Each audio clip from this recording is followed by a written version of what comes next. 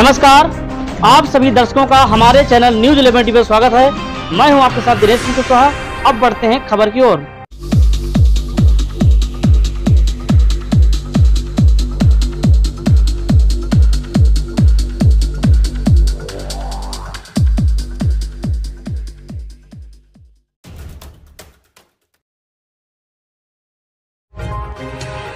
खबर चित्रकूट से है, जहाँ फर्जी हत्या के साजिश रचने वाले दुष्कर्म के आरोपी पच्चीस हज़ार की नामिया अपराधी को पुलिस ने भेजा जेल। युवती के साथ दुष्कर्म करने वाले अभियुक्त की हत्या की फर्जी घटना का खुलासा करते हुए पच्चीस हज़ार रूपए का इनामी अभियुक्त को किया गिरफ़्तार। पुलिस अधीक्षक चित्रकूट बंदर सोलह निर्देशन में अपराधियों की धर पकड़ हेतु चलाए जा रहे अभियान के क्रम में अपर पुलिस अधीक्षक चित्रकूट चक्रपाणी त्रिपाठी एवं क्षेत्राधिकारी राजापुर शीतला प्रसाद पांडे के निकट प्रवेशन में प्रभारी निरीक्षक थाना राजापुर भास्कर मिश्र के मार्गदर्शन में चौकी प्रभारी गनीवा जनार्दन प्रताप सिंह तथा उनकी टीम द्वारा युवती को बहला फुसला कर ले जाकर बंधक बनाकर दुष्कर्म के आरोपी की हत्या की फर्जी घटना का खुलासा करते हुए दुष्कर्म के पच्चीस हज़ार रुपये के इनामिया अभियुक्त को किया गिरफ़्तार।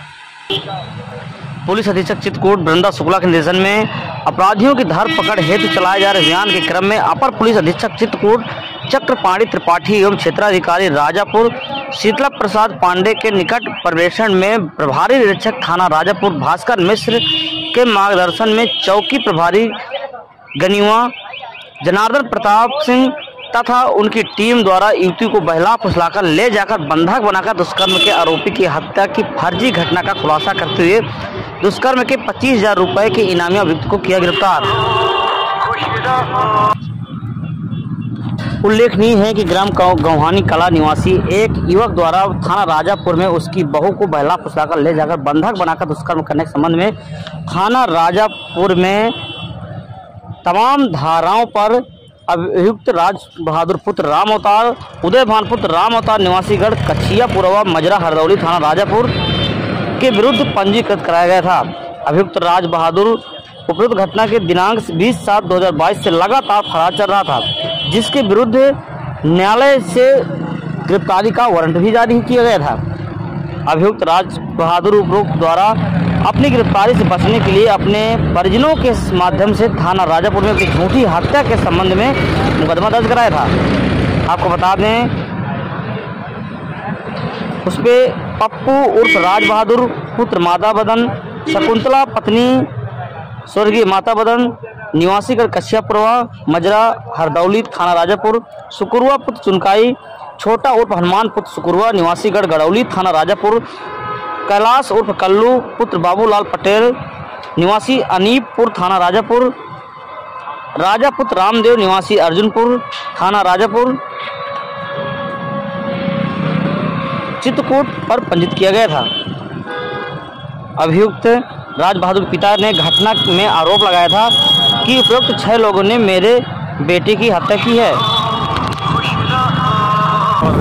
तरीके से हत्या की साजिश रची थी और किस तरीके से खुलासा किया गया? ये राजापुर थाना अंतर्गत एक पिछले वर्ष एक अभियोग पंजीकृत किया गया था एक सौ उन्यासी बटे बाईस।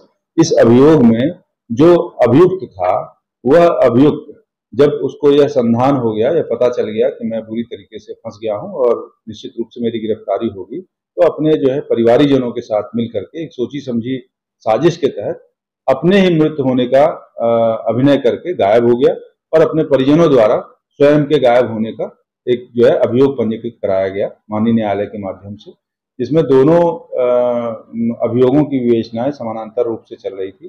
जो पूर्व में विवेचना पीड़िता के बयान और एक के कथन और अन्य सुसंगत साक्ष्यों के संकलन के पश्चात जब यह निश्चित हो गया कि इसका संलिप्तता है और इसकी मृत्यु के कहीं प्रमाण नहीं मिले तो यह अभियुक्त घोषित हो गया और इसके लिए तीस, पच्चीस हज़ार का इनाम भी घोषित किया गया और पुलिस द्वारा परिश्रम पूर्वक इसको गिरफ़्तार किया गया और इस पूरे के पूरे साजिश का भंडाफोड़ किया गया।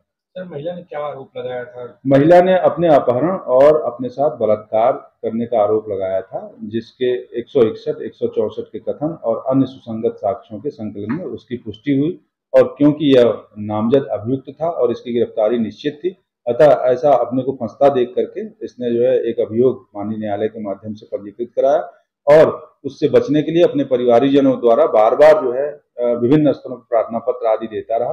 जिससे किसी भी स्थिति में उसकी बचत हो सके। सर महिला ने दो लोगों के खिलाफ आरोप लगाया था और महिला ने दो लोगों के विरुद्ध आरोप लगाया था पर प्रामाणिक साक्ष्य इसके विरुद्ध ही जो है प्रमाणित थे और इसीलिए इसकी गिरफ्तारी के लिए पच्चीस हज़ार का इनाम घोषित किया गया। सर ये जब गायब हो गया थे तो कहाँ रह रहे थे? कैसे इसकी लोकेशन मिली? ये जगह जगह लोकेशन बदल बदल के रह रहा था। बीच में फिर आ, सूचना प्राप्त हुई कि यह बीच में चित्रकूट उसी का उसी अभियोग की प्रगति और उसके द्वारा जो दबाव बनाया जा रहा था उसमें पुनः जो है आकर के दबाव बनाने के लिए यह योजना बना रहा था। इसी दरमियान पुलिस ने इसको गिरफ़्तार किया। थैंक यू ये प्रेस कॉन्फ्रेंस आज 28 मार्च को राजापुर पुलिस द्वारा किए गए गुडवर्क के संबंध में आप सभी को अवगत कराने के लिए आयोजित की गई है। राजापुर में एक अभियोग एक सौ उन्यासी बटे दो हज़ार बाईस पंजीकृत किया गया था, जिसमें एक महिला के अपहरण के संदर्भ में उसके परिवारीजनों द्वारा आरोप लगाया गया है। इसमें जिस जिस व्यक्ति पे आरोप लगाया गया था, उसने षड्यंत्र रचकर और सोचे समझे तरीके से 302 का स्वयं के मृत हो जाने के संदर्भ में अपने परिजनों द्वारा एक अभियोग पंजीकृत कराया, जिससे कि, जिसमें पीड़िता और उसके परिवारीजनों को अभियुक्त बनाया गया, सिर्फ़ दबाव बनाने के लिए और उस अभियोग से स्वयं को बचने के लिए। इसकी उस अभियोग में भी इसकी संलिप्तता प्रमाणित थी, जिसके आधार पर इसका, इसके लिए टीम गठित करके इसकी खोज की गई और इसकी गिरफ्तारी आज की गई है। इस संदर्भ में इसी क्रम में, क्योंकि यह लगातार गैर हाजिर चल रहा था तो मफरूर के रूप में पच्चीस हज़ार का इसके ऊपर नाम, इनाम भी घोषित किया गया। और आज इस चीज़ का पर्दाफाश हुआ है कि यह सिर्फ़ और सिर्फ़ आपराधिक षड्यंत्र के तहत और अपने जो पीड़ित पक्ष था उसको परेशान करने के लिए उसको दबाव में लाने के लिए इसने यह झूठा अभियोग पंजीकृत कराया गया था जिसमें इसकी गिरफ्तारी करके अभियोग पंजीकृत करके ये जेल जा रहा है जो मूल अभियोग है और शेष कार्रवाई भी उसी में आगे विवेचना के क्रम में की जाएगी।